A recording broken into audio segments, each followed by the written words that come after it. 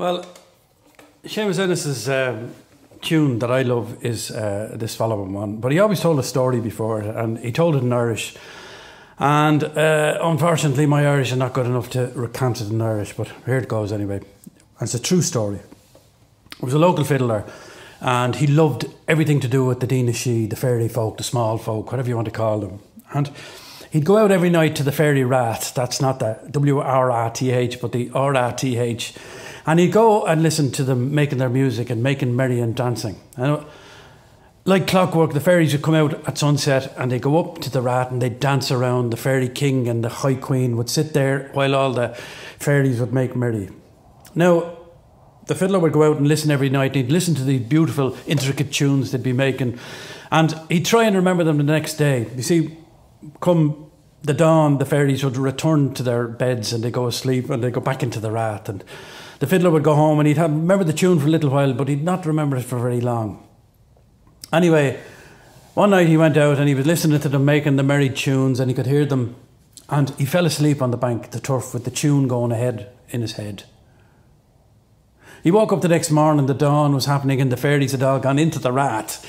And uh, he went out wandering, and there was no sign of anything, no sign of any fairies, but there, sparkling among the grass, was a tiny little golden ring. Tiny, tiny thing. So, see, it must belong to one of the Daoine Sídhe, the fairy folk, the small folk, whatever you want to call them.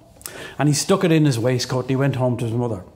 He got home, the mother was making the breakfast. He sat down, had a cup of tea, ate the breakfast, said nothing to her, and went off to the bed. He woke up next day about four o'clock. And he went out again up to the fairy rath and lay on the bank of turf to listen to the music.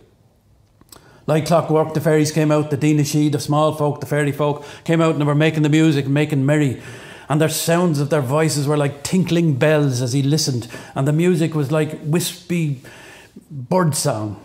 Anyway, in amongst all this sound, he could hear the lamentation, the crying of one of the fairy musicians. Turned out it was the fairy piper who had lost his ring, the gold ring, the night before.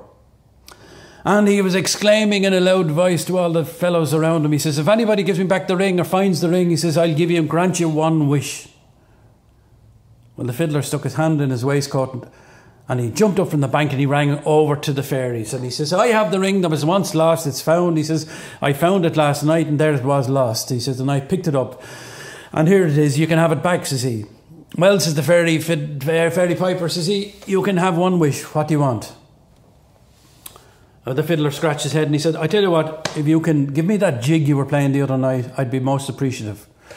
And sure enough, the fairy piper gave him the jig, and this jig has the name that we remember to this day, and it's called the Gold Ring, and it goes like this.